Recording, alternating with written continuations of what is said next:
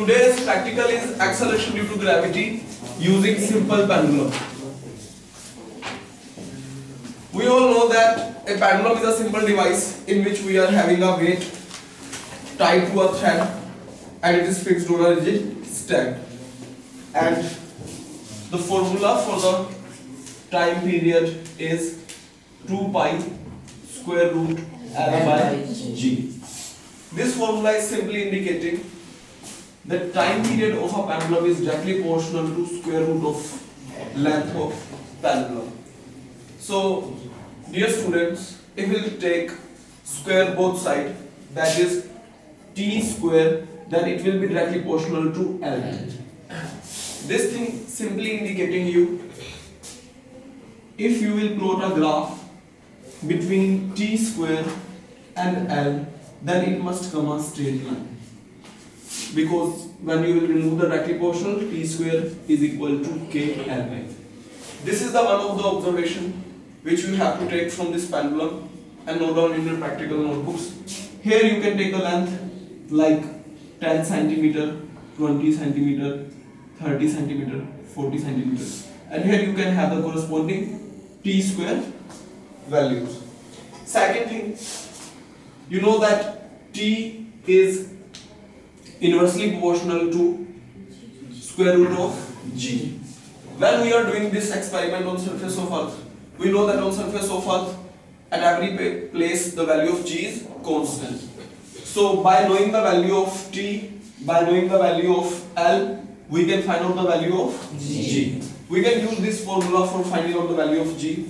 Again squaring both sides, equation 1 we are having t square is equal to 4 pi square L by G and G is equal to placing G here and T square here 4 pi square L by T square.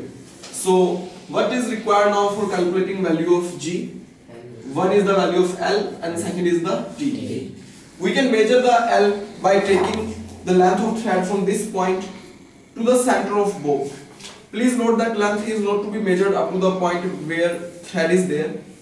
Length is to be measured from this point to the center of bow. So for taking this we will measure the length of thread plus diameter of bow, half of that is radius that is to be added and this length of this clip which is there which is connecting this thread with the bow.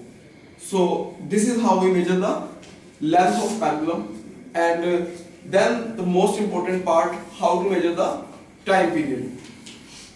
When this pendulum will oscillate it will go like this. this is known as the peak position. This is the left peak position or extreme position. This is the mean position and this is the right extreme position. Students often confuse in calculating one time period. They often do mistake like this.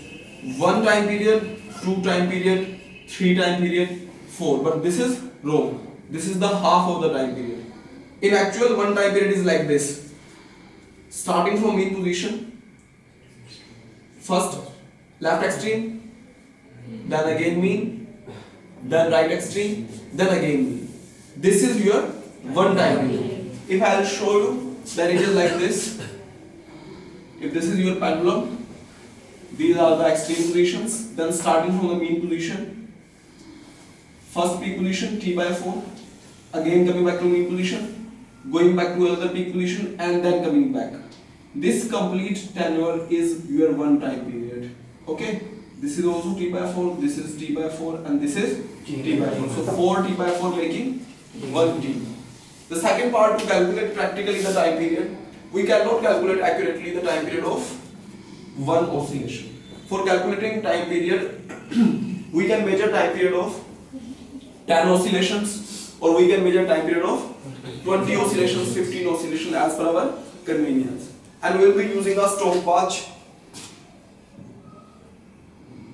for calculating the time period. We will observe the number of periods. Here I am going to use a digital stopwatch I am having with me.